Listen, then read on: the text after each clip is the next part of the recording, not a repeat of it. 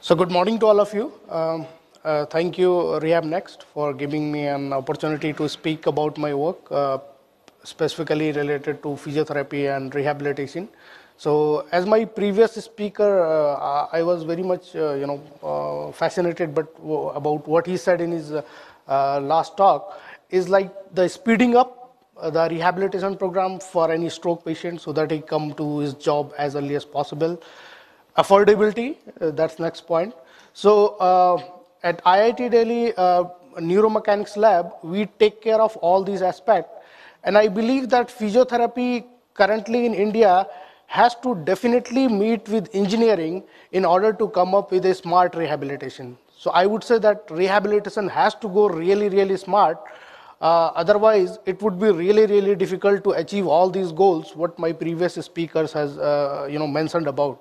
Uh, engineering, when I talk about engineering, uh, I remember my uh, first speaker for today, uh, today's uh, meeting was, uh, he mentioned about machine learning, artificial intelligence, right? So this is one of the area which can really gear up the, you know, rehabilitation time for either the stroke patient or a, you know, amputee population or, or a spinal cord injured patient.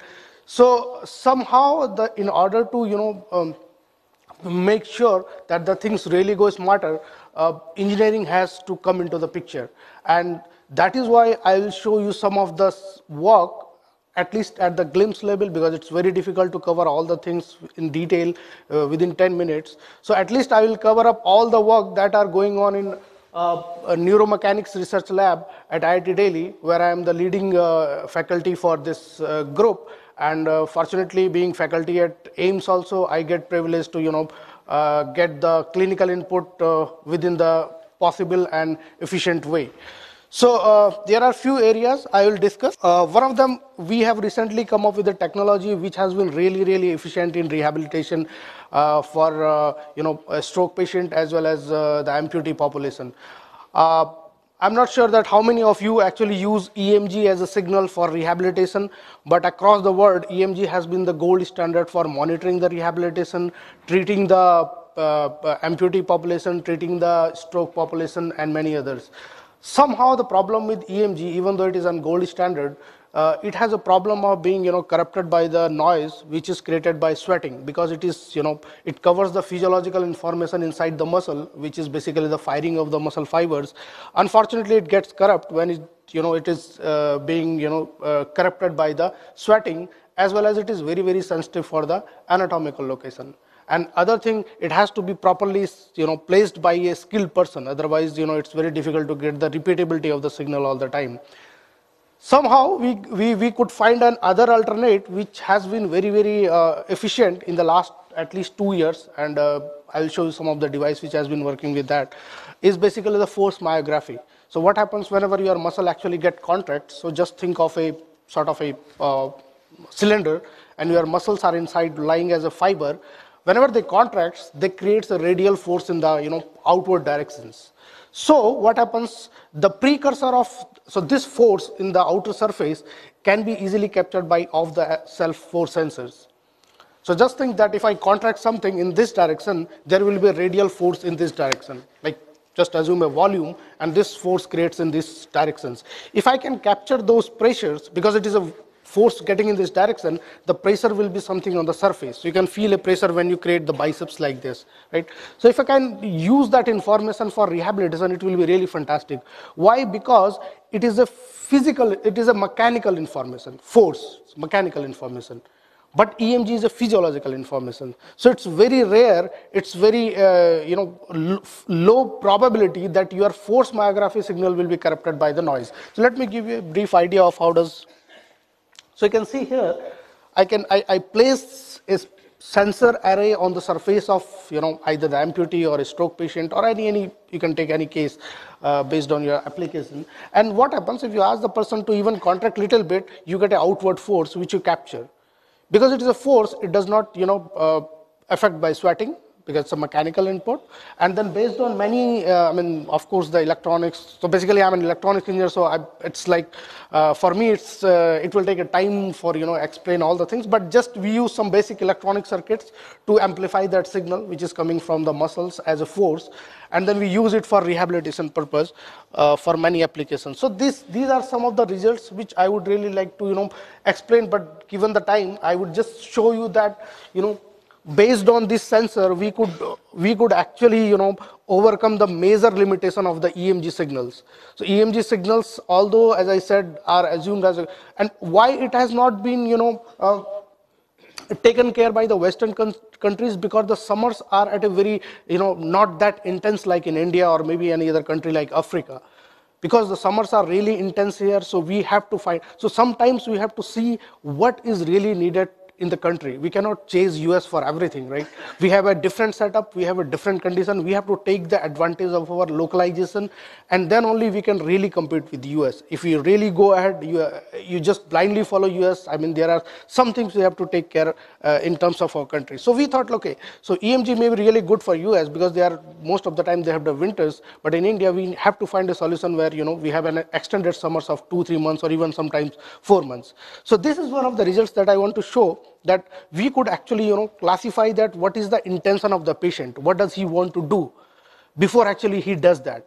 So it is a very important precursor information for physiotherapist or the rehabilitation program that what he intend to do if you really decode that intention, you can actually use the rehabilitation robotics, which is a very popular area. But until unless you really decode it correctly, the robotics or the rehabilitation robotics, they are of not so use. It is just a robotics. It becomes rehabilitation robotics when you really decode that information correctly. That's where the engineering comes into the picture. That is where the artificial intelligence or the machine learning comes into the picture, right? These are some of the, uh, you know, uh, we have, as I, I'll show you maybe the video directly that will help uh, okay sorry so just give me a second so I've done intelligent uh, along with as I said with AIIMS uh, faculty so I'll just show the performance of that rather than just showing the details so you can see this patient so we, we decode the intent of the patient because still there is the residual information of the patient and based on that we drive the prosthetic. That's why it's an intelligent prosthetic leg. So so I'll just skip because uh, a, uh, so the patients are really motivated. That's the best thing because they have to involve little bit of cognitive load uh, on the device. And then rehabilitation robotics. That's the other area where I was just uh, you know talking about. So for example, a stroke patient, right? So uh, when my first speaker, uh, I, am sorry, maybe second speaker, when he was talking about the stroke, in stroke it is very, very important. I mean, you might have heard of this term neural plasticity that has recently come into the picture. So it has shown that if you can, if you do the proper rehabilitation, when I say proper, I, I mean to say that quantified rehabilitation, you can actually, you know, increase the effectiveness of the neural plasticity right? So this is one of the area which you know uh, which, which, which can enhance the output of this robot uh, rehabilitation rehabilitation robotics. So this is one of the area that we are trying. So what we are trying to do is based on the you know intent of the patient, can we intend that what was the knee angle that he wanted to produce? Because it's very important. It's not only the angle actually. Sometimes it is the torque which is very important. So in order to create that torque for the given patient, it has to be customized. And how do you customize it? By doing some certain modeling, which is very important. So that's what we are doing here. And I will show you some of the application of the machine learning that, that we are currently using. So yeah, so you can see this is a very interesting machine learning algorithm, which is very popular, although you might not have that background to understand it, but just an overview that it is sort of a, uh, sort of a model which learns from the data of the patient, right?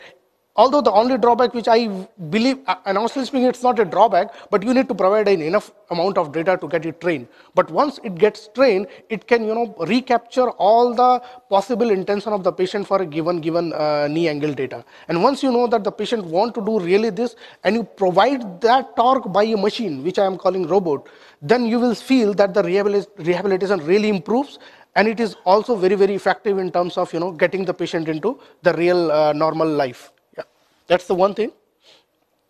So we have done it so far for on few subjects. So maybe, uh, so you can see, uh, you can see this uh, particular graph, which is very interesting.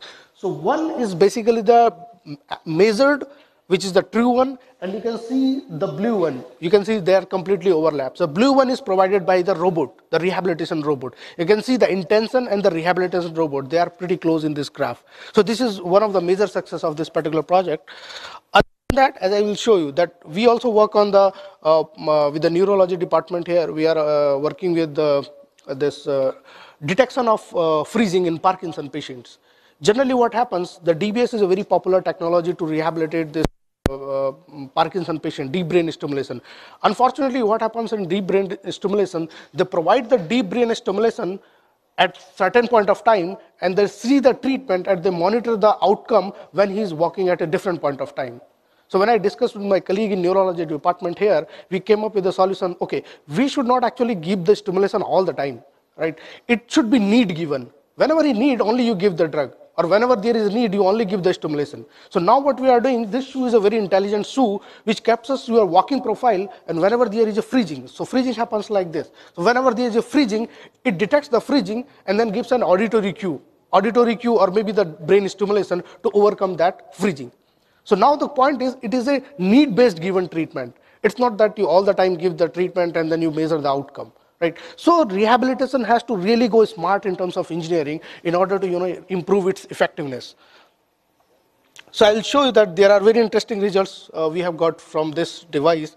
But given the time limitation i'm just skipping. And this is one of the very uh, interesting area where we are monitoring the you know center of pressure when a person walks right so based on the person so what happens the new uh, the feedback part is missing in many neurological disorders so what we are trying to do based on his walking pattern, we are trying to give the feedback which the patient can actually feel and then reintegrate that feel or that artificial sensation in its control strategy of walking, which has been very, very important.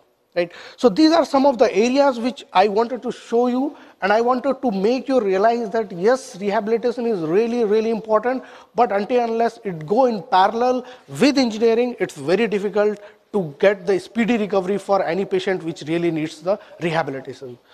So I think it has been, uh, you know, the message is very clear. Uh, handshake with engineering, handshake of physiology, uh, sorry, handshake of physiotherapy with engineering can really give the smart rehabilitation. Thank you very much.